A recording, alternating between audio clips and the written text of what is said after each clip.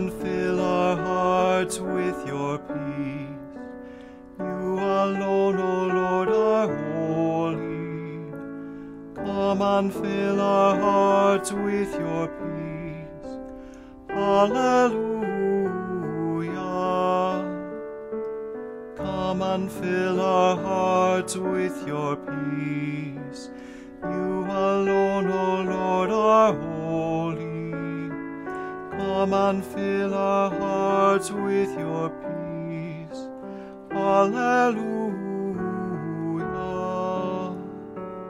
Come and fill our hearts with your peace. You alone, O Lord, are holy. Come and fill our hearts with your peace. Hallelujah.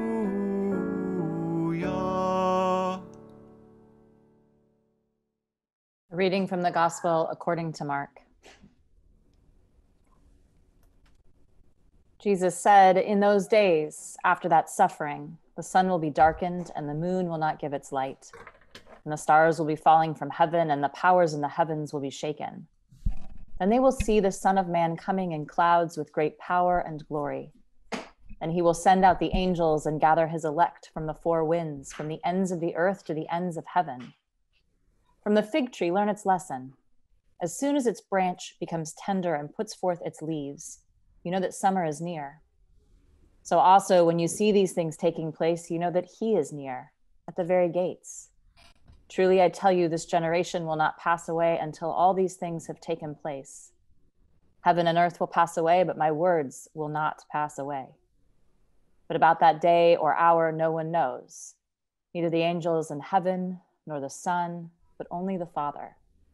Beware, keep alert, for you do not know when the time will come. It is like a man going on a journey. When he leaves home and puts his slaves in charge, each with his work, and commands the doorkeeper to be on the watch. Therefore, keep awake, for you do not know when the master of the house will come in the evening, or at midnight, or at cockcrow, or at dawn, or else he may find you asleep when he comes suddenly. And what I say to you, I say to all keep awake. Here ends the reading.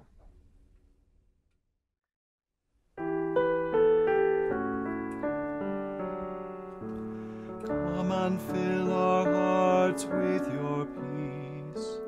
You alone, O Lord, are holy. Come and fill our hearts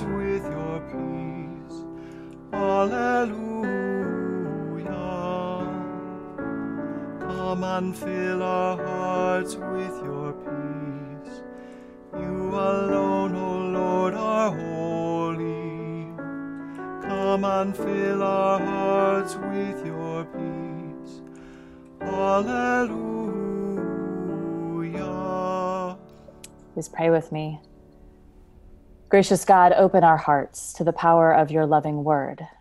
Amen.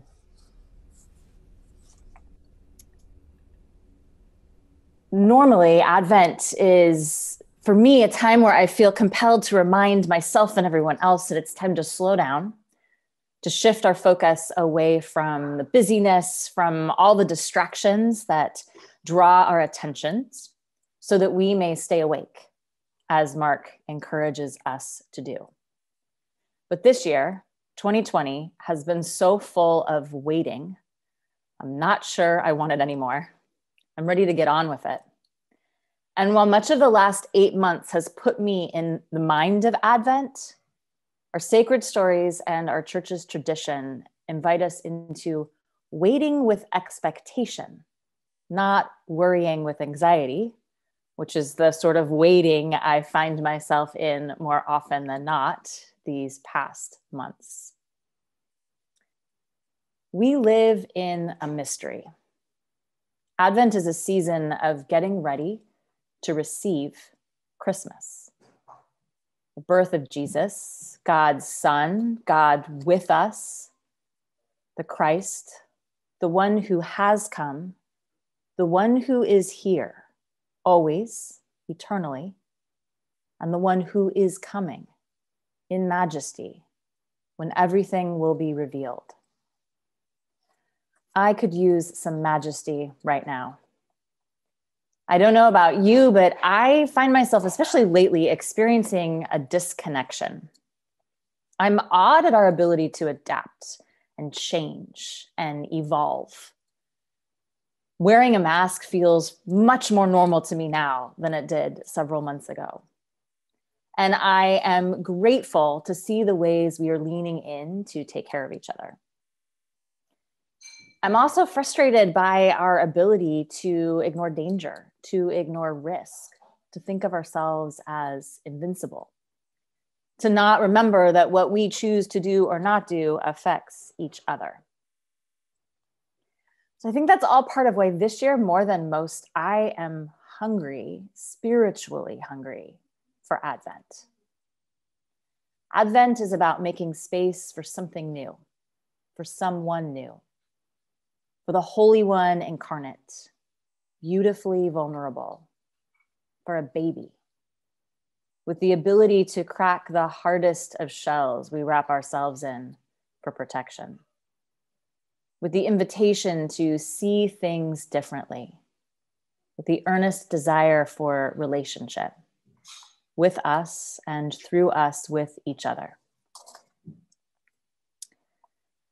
Isaiah's words, that first sacred story we heard Oh, that you would tear open the heavens and come down. Find my heart resonates with those words that the prophet wrote so long ago. I would love some bold, majestic display of glory, God coming down to set things right.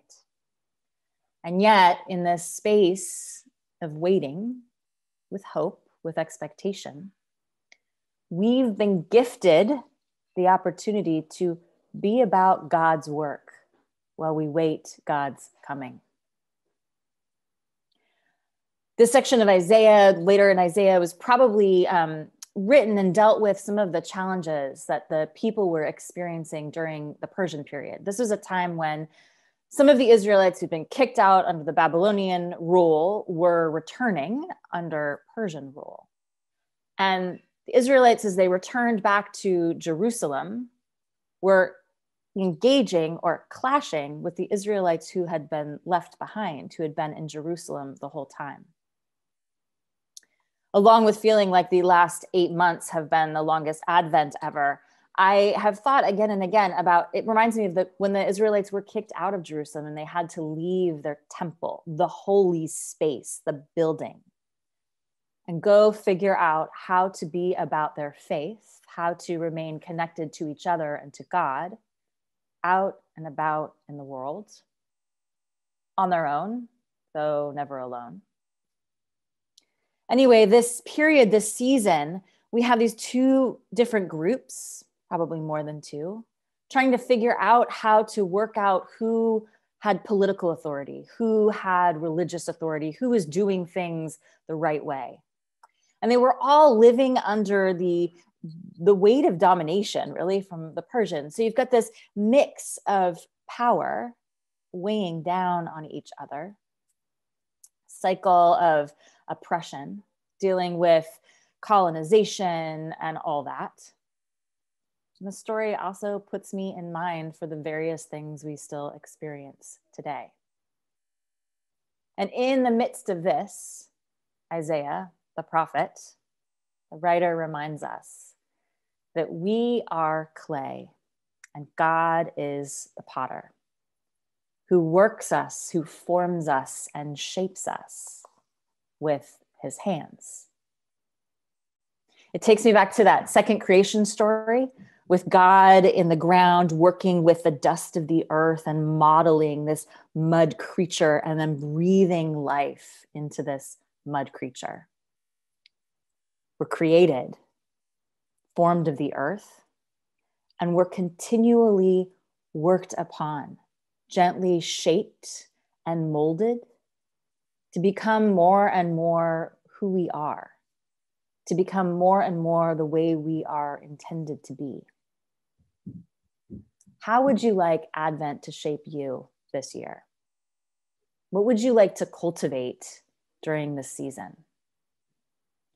Just as the source of all being formed us from the dust of the earth and continues to form us in love, we are invited to change, to respond to God, to tune our hearts to the coming of the Christ child, to prepare our bodies to make space and to stay awake.